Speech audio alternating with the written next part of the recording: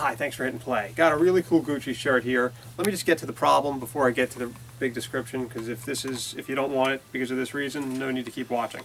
The back of the shirt, there's a tiny little hole right here. Uh, it's just, you know, been washed a lot. If you're wearing it with a pair of distressed jeans, it's really no big deal.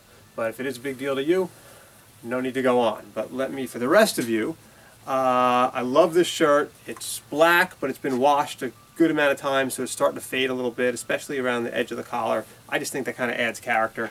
Uh, it's marked size 15 and a half, 39. For a casual shirt, it seems like a medium. Uh, fabric is cotton. It's got the Gucci logo. It's kind of like a jacquard Gucci logo thing going on here.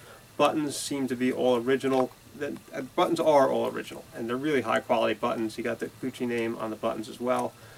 And uh, seems kind of slim fitting. The measurements are in the listing. Uh, if you have any questions about this or any other item in our store, please send us an email and we'll get back to you as soon as we can. Thanks for looking.